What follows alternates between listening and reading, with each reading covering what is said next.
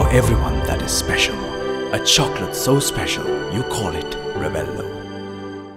පාර්ලිමේන්තු මන්ත්‍රී කෙහෙලි රබොක්කල්ල මහතා ද යාපනයේ මහේස්ත්‍රාත් අධිකරණය හමුවේ පෙනී සිටියේ අතුරුදන්ව සිටින පෙරටුගාමී සමාජවාදී පක්ෂයේ සමාජිකින් දෙදෙනෙකු වන ලලිත් කුමාර වීරරාජ් සහ කූගන් මුරුගන් සම්බන්ධයෙන් වන නඩු විභාගයේ සාක්ෂි ලබා දීම සඳහායි.